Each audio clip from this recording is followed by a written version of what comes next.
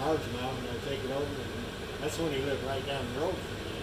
I think was it you we brought a turkey to one time?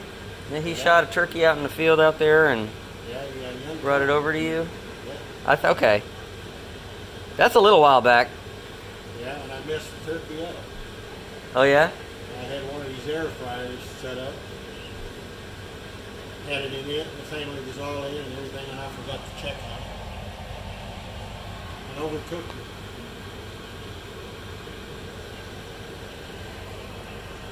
We got some breast meat on